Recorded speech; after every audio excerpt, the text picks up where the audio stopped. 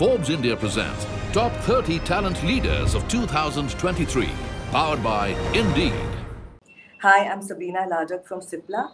I'm currently heading the leadership hiring globally, the corporate HR, and the employer branding.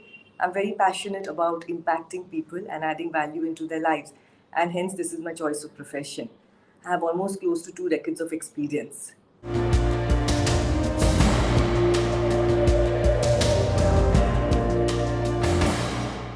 So uh, there were three things that really pushed the button for HR.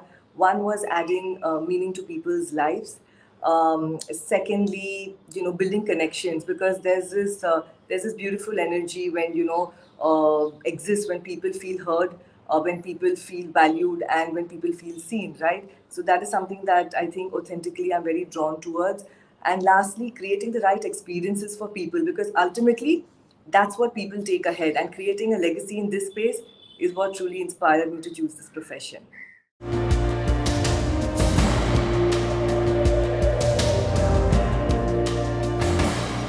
So I started my career with ICICI and Citibank, and both these roles gave me the opportunity to deal with a lot of people because I was into sales and into service. And that's when I realized that uh, you know HR is my calling post that, I did my master's in human resources and I joined a search firm. And over there, I had some beautiful experiences which only uh, made me realize and feel that, you know, there is no right experience or wrong experience. It's all learning experiences.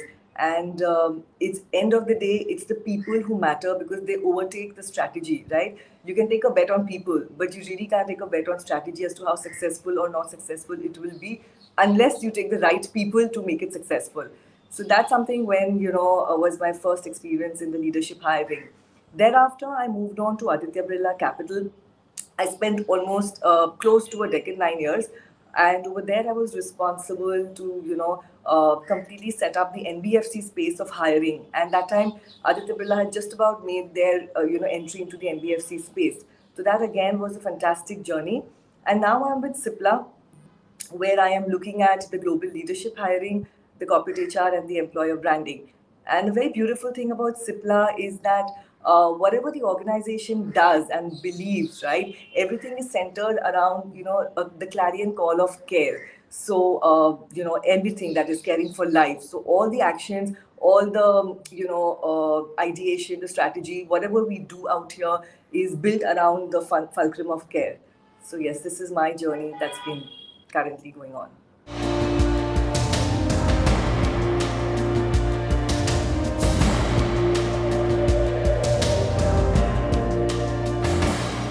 So, um, you know, this year we will see a lot of leaders which will be moving towards adopting a more creative and a more innovative approach. And I think that is these are the elements that will really take the you know the teams way ahead and uh, building a strong talent pipeline supporting it.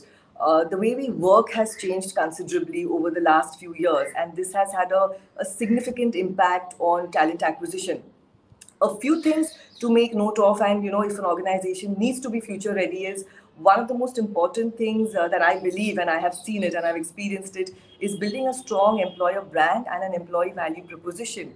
Because, uh, you know, meaning and purpose of the organization, uh, aspirational reasons for existing. Every organization has and wants to really invest in the meaning and the purpose. Because, especially when you look at the young talent right now, they'll always place purpose above the brand um, and they're motivated by the relationships and the culture that they encounter today right? So that that's the first thing that i think uh, you know we need to make note of. And secondly it's all about experiences. How you build candidate experience right from the day of joining. Actually no i'll take a step back. It's before joining to onboarding. You know that's the time when the employee really decides and uh, the elements in this process you know uh, really fuel his mindset of whether whether he wants to stay in the organization and for how long. Because these are his initial experiences of the candidate that typically stay with him. So uh, you know building the employer brand and the candidate experience i think these are the two things that the organization will really need to invest in. Uh, when it comes to what we really plan to do right um, there, there are three very simple things, you know, which are not very complex. And I think uh, fixing the simple basics up of prime importance. So we really want to be more agile. We are agile, but we want to be more agile in responding to our hiring needs with speed and efficacy, right? And uh, secondly, um, we want to lay very clear emphasis on our culture, our purpose, and our values. Because as I mentioned earlier, you know, that's something that uh, the new talent, the organizations are running towards.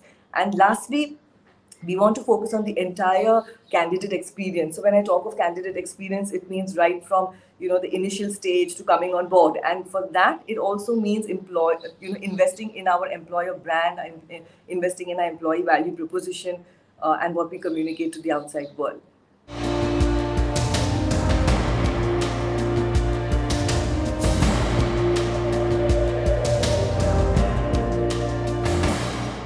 So when it comes to retaining, I think uh, one very important thing is you got to have your basics right, right? So whatever you are doing currently, you got to ensure that your basics are right and revisit them and re-challenge them. Secondly, we are looking at committing to employee well-being and adopting a very digitally driven mindset because having that mindset uh, is the biggest asset for any organization. And lastly, uh, while it is related to digital mindset, it's people analytics, and that I'm specifically calling out because the data, um, you know, which is derived from people analytics, can help improve uh, an organization's effectiveness and ultimately the bottom line, right? Uh, we've known long that it can also improve the recruitment efficiency and it can also eventually, eventually, you know, halve the attrition rates. So these are the couple of things that, uh, you know, on the strategy side that we're planning to, to involve and embed.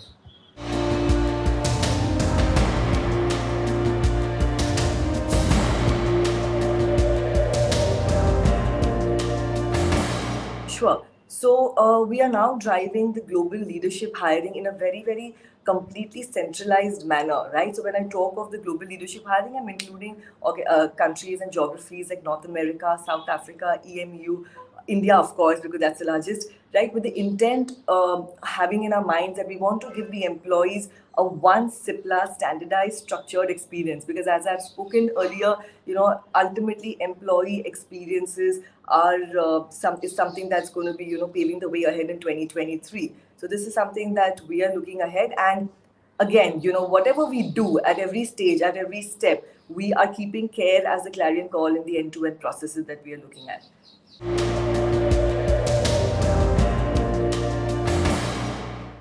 Uh, so I like journaling, right? When I say I like journaling, I like to consolidate my thoughts, uh, you know, be a little more self-aware and many other things along with that.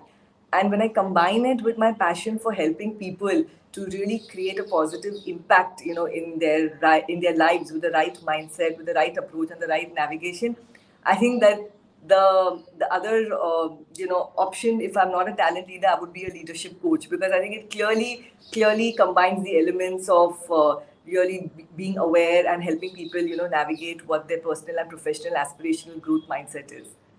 So that's something that i would be taking up if not a talent leader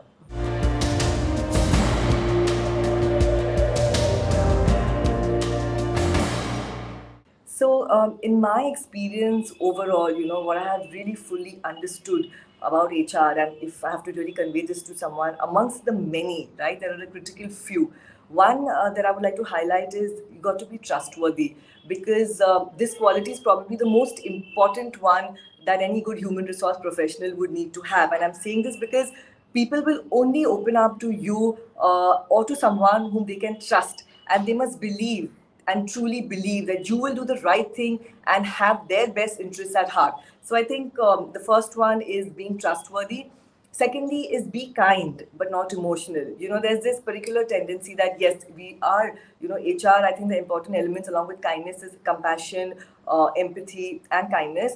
And um, you know, when you look at making decisions, one must realize that you know your objectivity in thinking through while being kind, while being compassionate, while being empathetic i think that objective reasoning is very important because you always otherwise have this you know as an HR, a good hr professional uh, this dichotomy will exist and you should know when to draw and how to look at situation with a different lens keeping in mind all these elements but at the same time being objective and rational. And lastly i think listening well. Listening well is supremely important because that's the premise of good decision making people will come to you on various fronts and coming up with solutions you know will stem from how well you have really heard them out how well you have listened to them uh, and authentically listen to them. Because only that's when you'll be able to truly guide them correctly and uh, you know effectively. So yes just to sum it up being trustworthy uh, being kind compassionate and being empathetic but not emotional while taking decisions and lastly listening well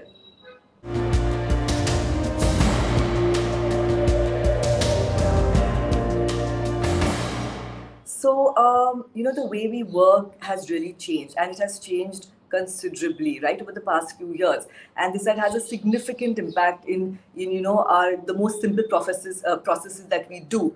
Uh, so right now there's this evaluation mode that we are in right? Evaluation and thinking mode and looking at things as to how we can do and how we can better ourselves.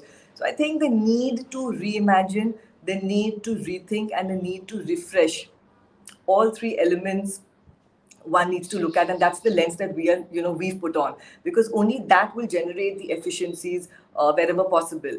Uh, secondly strengthening the alliances between teams right? If you really want to be impactful in today's scenario and today and going ahead right in the years to come i think there has to be a supremely good uh, collaboration uh, between i mean i'm talking about here is hr teams as well as business teams because only that will ensure that you know the talent strategy is in alignment with the overall business need. So these are the two things that uh, you know i would lay emphasis on. Forbes india presents top 30 talent leaders of 2023 powered by indeed